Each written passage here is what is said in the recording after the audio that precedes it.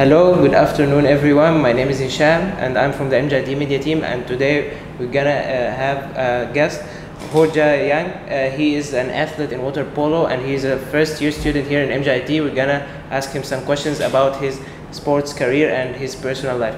So, uh, uh, tell us more about the ex- your experience in the seventh youth camp of Chinese Olympic Committee and the Sea Games 2017 and the 22nd National Olympic Academy session for young participants. The events you participated with. Alright, uh, I'll go first. Seven Youth Camp uh, Chinese Olympic Committee. So this program is uh, to be held in uh, Beijing, China.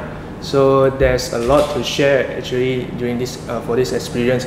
But the main the main thing that I felt interesting is uh, we are we got a chance to visit the National Winter Olympic Stadium in uh, Beijing, China, and which they are doing the prep preparation for the Winter Olympic 2020. So we we got a chance to visit their their place where the where their athletes used to train every day.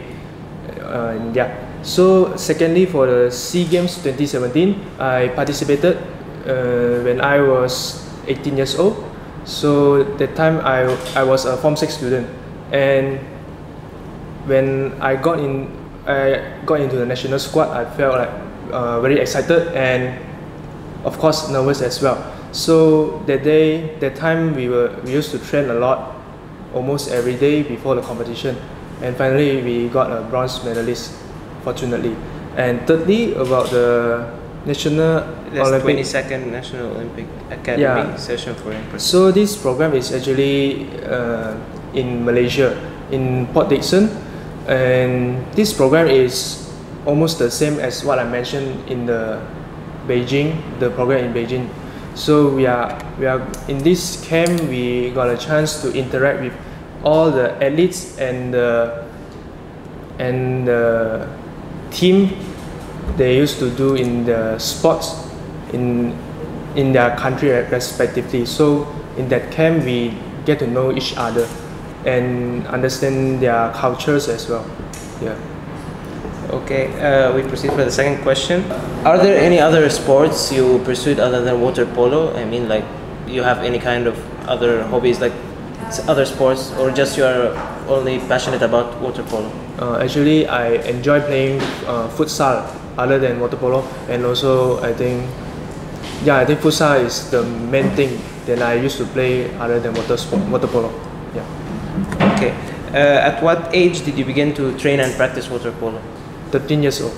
13 you began your career like your sports career Yeah. right okay uh, how did you feel when you had the chance to represent malaysia as the national athlete and the bronze being the bronze medalist in the sea games 20, 2017 um, like what I mentioned just now, um, the time I was really excited and nervous as well because when I'm representing my country to the competition, it's it's like going to a war. So we have a we are carrying a very big responsibility responsibility. So yeah, even though that um, I was very nervous, but then I know that we have to do it because water polo is a team sport.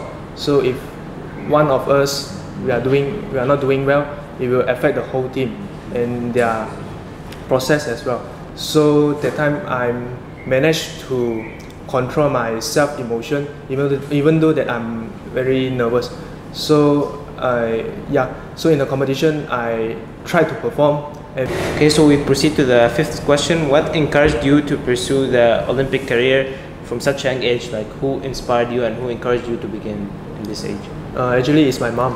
Uh, before that, like before me as a water polo athlete, I used to swim, but then in because in swimming I doesn't perform well, so I didn't get any good results in my swimming. So in, in my encourage from my mother, so she encouraged me to join water polo because water polo is more fun and maybe it, it has a higher potential for me to get a good achievement. Yeah, that's why I started to play water polo during when I was 13 years old. Yeah. So it's actually like near also to swimming because it involves like playing in the pool. So you Yeah. had like this the passion about playing sports in the swimming pool, right? Yeah, because water polo, you, you have to know how to swim as well. Now you said like also we read in your profile that the Majlis Olympic Malaysia uh, invited you to participate in the National Olympic Academy session. Like, what can you say to greet or to uh, like greet this uh, uh, Majlis Olympic Malaysia? What what can you say to greet them?